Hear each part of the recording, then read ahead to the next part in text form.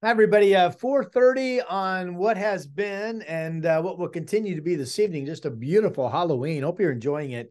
A year ago, it rained an inch on Halloween. Today, obviously, we're completely dry. Most areas still reporting partly cloudy skies. Daytime highs have made it up to 60. It's going to be a nice evening for your trick or treaters. It still looks like the clouds will thicken up tonight and actually hold overnight lows for much of the valley in the mid 40s. So we are done with those cold nights. And the focus now entirely changes to rainy weather starting Wednesday, potentially in the morning, and staying with us all the way to the first part of next week. We literally have a week, Wednesday through Tuesday of next week, of rainy days. The possible exception being maybe an absolute dry period Friday morning before rain picks up later in the day on Friday. So I'm beginning with the uh, homepage from the National Weather Service, and uh, they're on board with some heavy rain coming, heavy rain on the way. What can you expect? They talk about rain beginning tomorrow, Wednesday.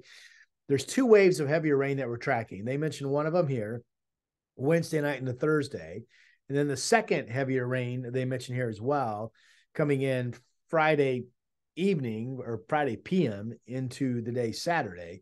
And of course, they remind folks it's a great time to clean out the leaves around your street gutters so we can get the rain down and draining away.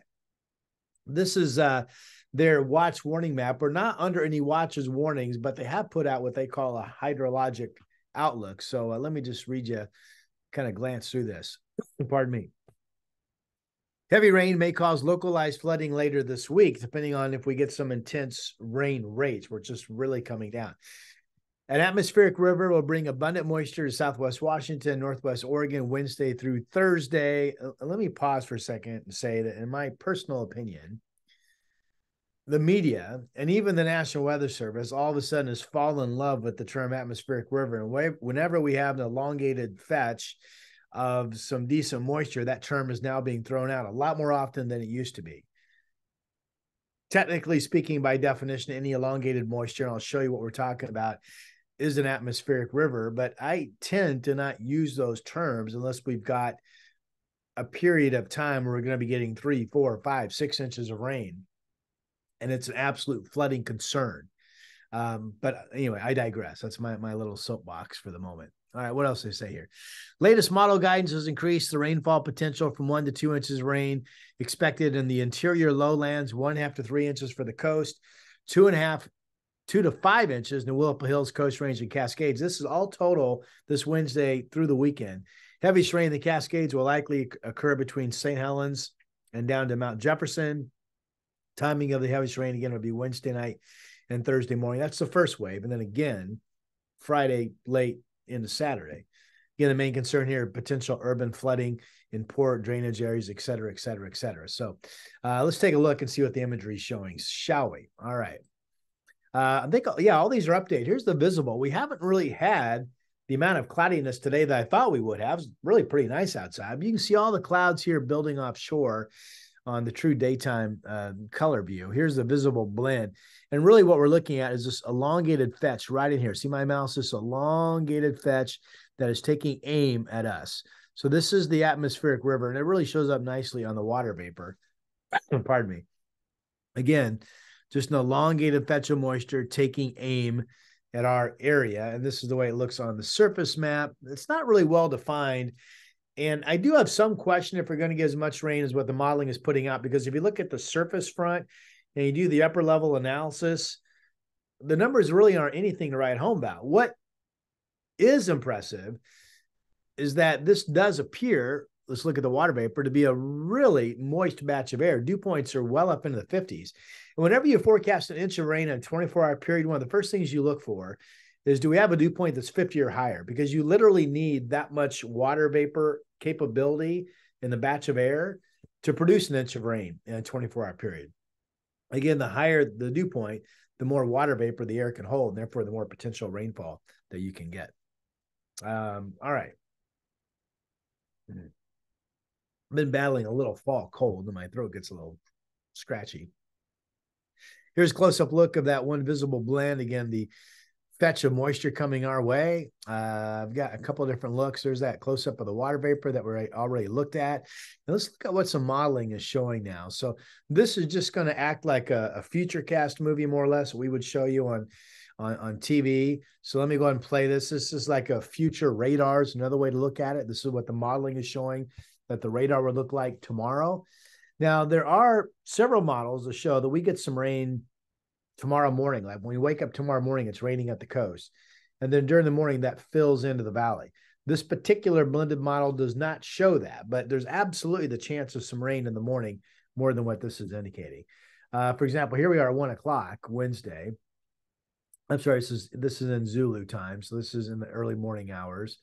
Here we are. This would be getting into mid morning.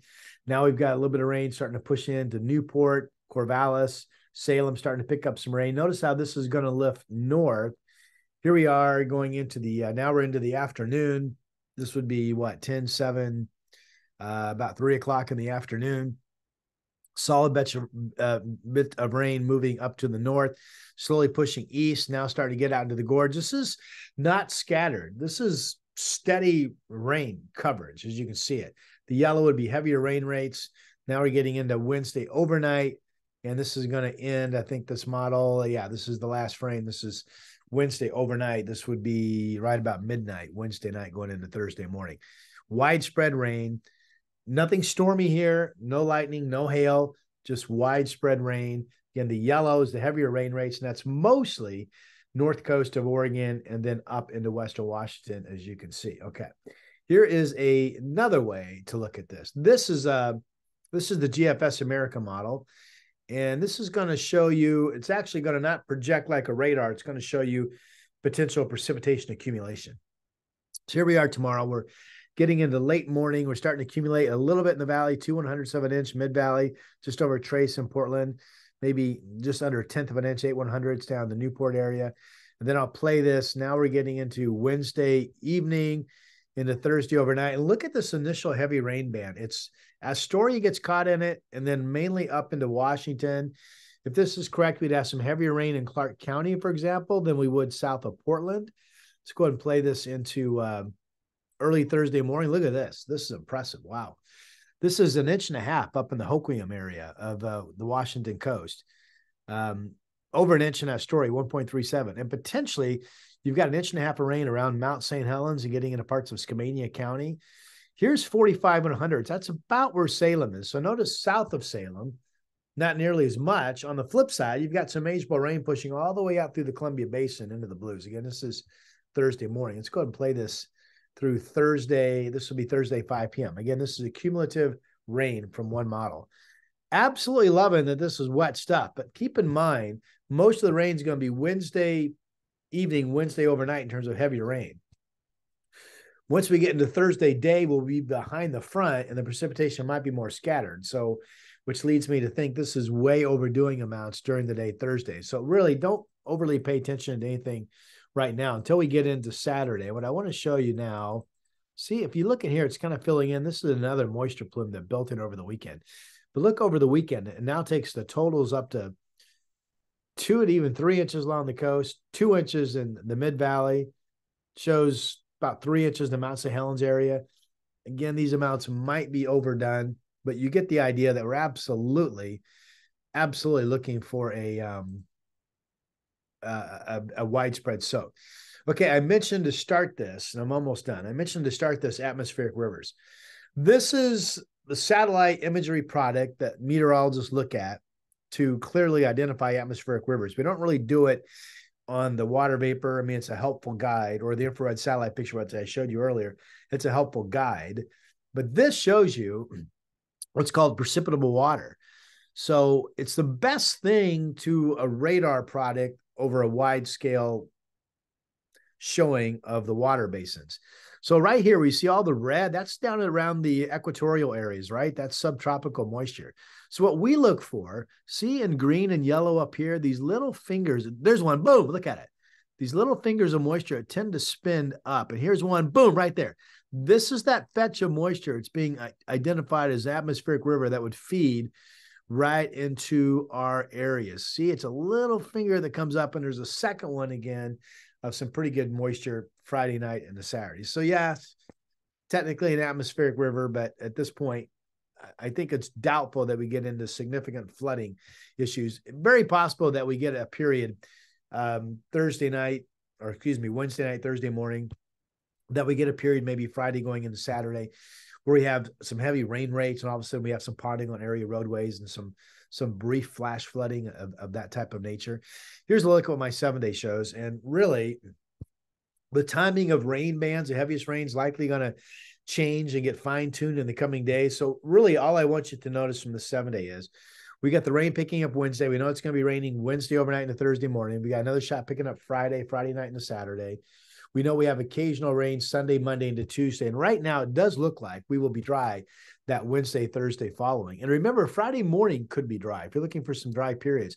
And the other thing I want you to notice is, especially after we're coming off of the cold nights, right? Look at the lows. Thursday morning, 53. Friday morning, 52. Saturday, 53. Sunday morning, 52. Monday, 50. Tuesday, 51. That's a sign of very moist air, which gives us the potential for some heavier rain. It's also a sign that snow levels are going to be high. I mean, snow levels are going to be generally like closer to seven, 8,000 feet for a good chunk of this time until we get into Sunday. Sunday snow levels could come down, looking at my notes, to about 5,000 feet. That may or may not happen, but certainly in the coming days into the weekend, it's all heavy rain over Cascade Passes. It could really be coming down in the rate of inches as we talked earlier. All right, I will let you go and uh, we'll see how much rain we pick up uh, starting tomorrow, and then I will uh, talk to you soon with an update. Thanks for using my YouTube channel. My weather site's portlandweather.com. I'm Rod Hill, and I'll talk to you soon.